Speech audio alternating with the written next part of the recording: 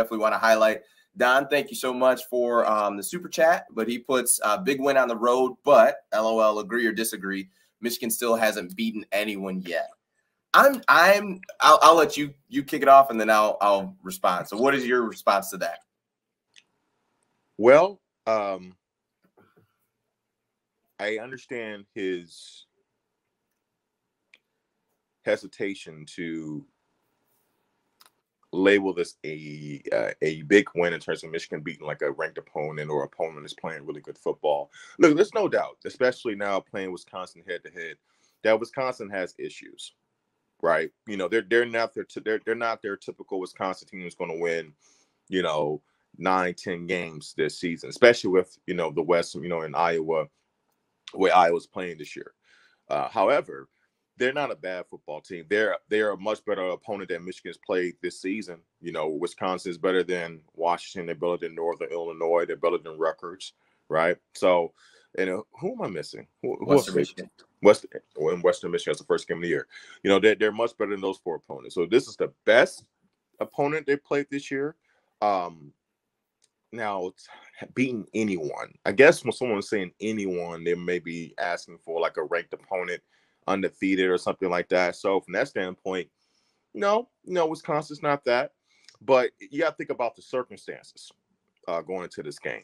You know, Michigan hasn't won here in 2001, uh, since 2001, and also, you know, just to get a little bit more recent, especially with this uh, regime under Jim Harbaugh, the last two times there they've been blown off the field um, in embarrassing fashion. Uh, they've been broken physically and mentally in those games and games over before halftime. Games over before halftime.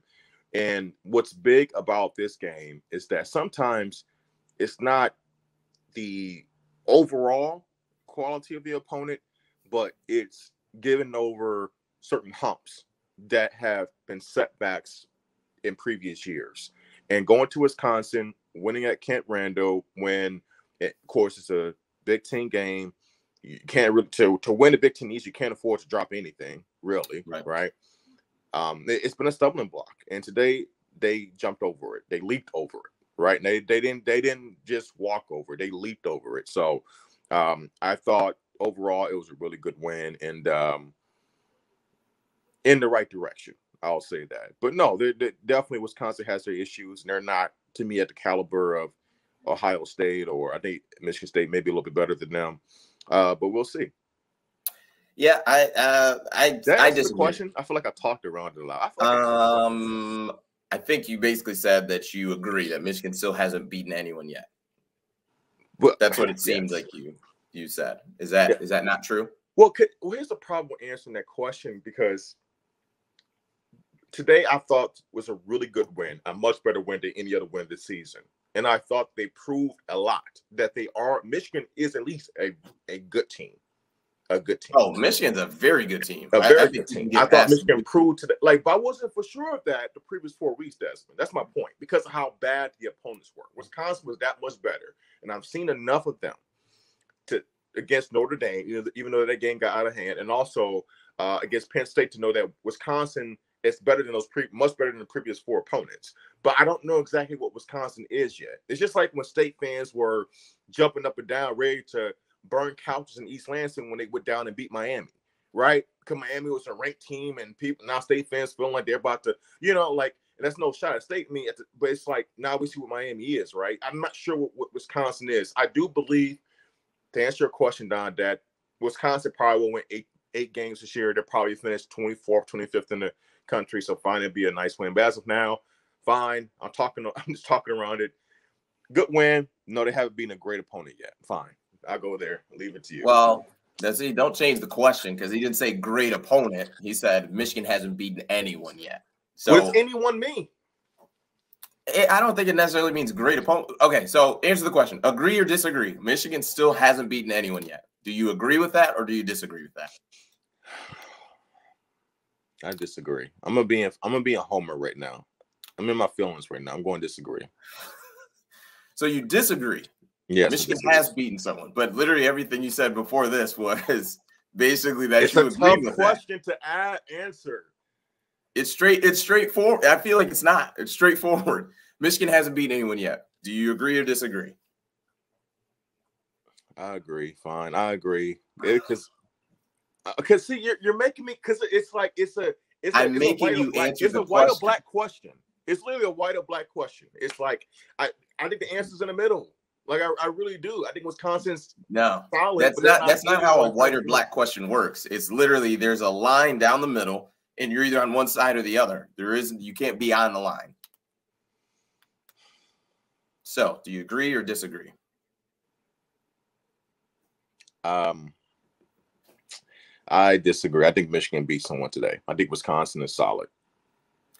and that's where I am. I I haven't wavered. Uh, just waited on you to finish, but I I Yeah. disagree. I, I think Wisconsin is a legitimate team, and and I they're a legitimate team.